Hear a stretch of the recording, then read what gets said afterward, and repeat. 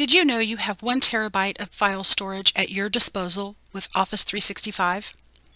You can access your cloud storage by selecting OneDrive from the App menu.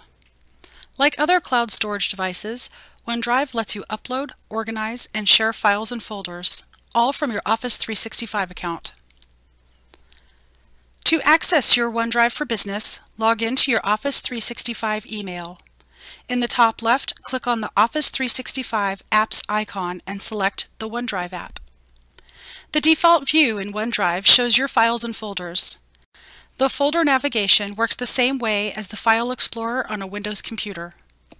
On the left navigation, you can change from Files View to Recent to view your recently active OneDrive files, or Shared with Me to view any files or folders others have shared with you.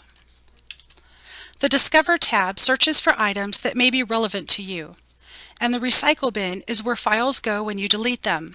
They will stay there for 90 days in case you need to restore files or you decide to permanently delete them. From the Files view, you can add a new folder or file. You can upload files and folders from your computer. And you can sync OneDrive to your computer.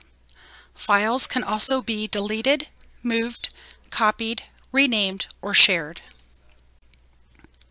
To share files and folders, navigate to and highlight the file or folder you want to share. You can either right-click and make your selection or select from the top navigation.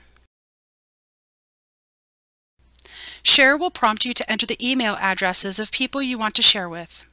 Get a link generates a URL to the file that can be emailed. At the bottom on the left side navigation, you will see Get the OneDrive apps.